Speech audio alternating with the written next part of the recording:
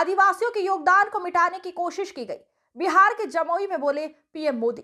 प्रधानमंत्री नरेंद्र मोदी जनजातीय गौरव दिवस पर बिहार के जमुई पहुँचे, जहाँ आदिवासी समाज के पारंपरिक डांस के साथ उनका स्वागत किया गया। पीएम मोदी ने बिरसा मुंडा की प्रतिमा पर फूल अर्पित किए, प्रधानमंत्री ने यहाँ आदिवासी नृत्य का लुत्फ उठाया और नगाड़ा भी बजाया। इस दौरान पीएम मोदी ने कहा, आज बहुत ही पवित्र दिन है, आज कार्तिक पूर्णिमा है, देव दीपावली है, आज गुरु नानक देव जी का 555वां प्रकाश पर्व भी है। मैं सभी देशवासियों को इन पर्वों की बधाई देता हूँ। आज़ादी के बाद आदिवासियों के योगदान को मिटाने की कोशिश की गई। इसके पीछे स्वार्थ भरी राजनीति थी। बिरसा मुंडा की जन्म जयंती है। राष्ट्रीय जनजातीय गौरव दिवस है। मैं सभी देशवासियों को और खास तौर पर अपने आदिवासी भाई बहनों को जनजातीय गौरव दिवस की बधाई देता हूँ। मुझे बताया गया है कि इन पर्वों से पहले जम्मू में पिछले दो तीन दिन बहुत बड़े पैमाने पर यहाँ के लोगों ने स्वच्छता का अभियान चलाया है। प्रशासन के लोग, उन्होंने भी स्वच्छता के अभियान का नेतृत्व किया। हमारे विजय जी तो यहाँ डेरा डाल करके बैठे थे। भारतीय जनता पार्टी के कार्यकर्ताओं ने भी स्वच्छता का बहुत बड़ा अभियान चलाया।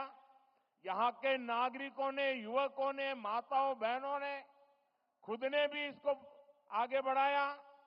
इस विशेष प्रयास के लिए मैं जमुई के लोगों की भी बहुत बहुत सराहना करता हूँ।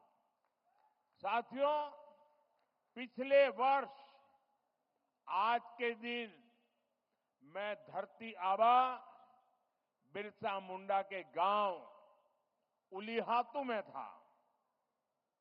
आज उस धरती पर आया हूँ, जिसने शहीद तिलका मांझी का शौर्य देखा है। लेकिन इस बार का ये आयोजन और भी खास है। आज से पूरे देश में भगवान बिरसा मुंडा की डेढ़ सौवीं जन्म जयंती के उत्सव शुरू हो रहे हैं।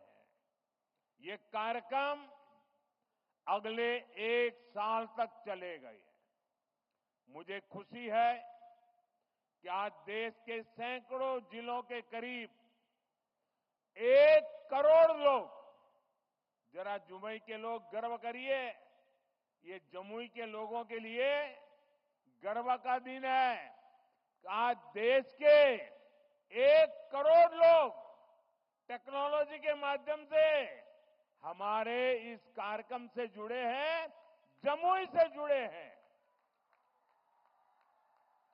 मैं सभी का अभिनंदन करता हूँ।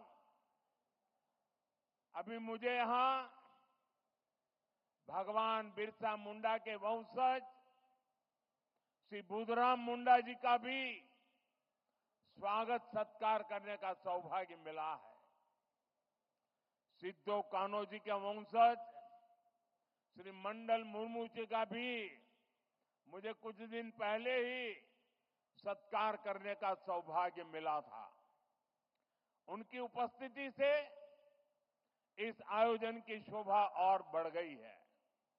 साथियों, धरती आबा बिरसा मुंडा के इस भव्य स्मरण के बीच आज छह हज़ार करोड़ रुपए से अधिक की परियोजनाओं का शिलान्यास और लोकार्पण हुआ है। इनमें मेरे आदिवासी भाई बहनों के लिए करीब डेढ़ लाख पक्के घरों के स्वीकृति पत्र है। आदिवासी बच्चों का भविष्य संवारने वाले स्कूल है, हॉस्टल है, आदिवासी महिलाओं के लिए स्वास्थ्य सुविधाएँ हैं आदिवासी क्षेत्रों को जोड़ने वाली सैकड़ों किलोमीटर की सड़कें हैं।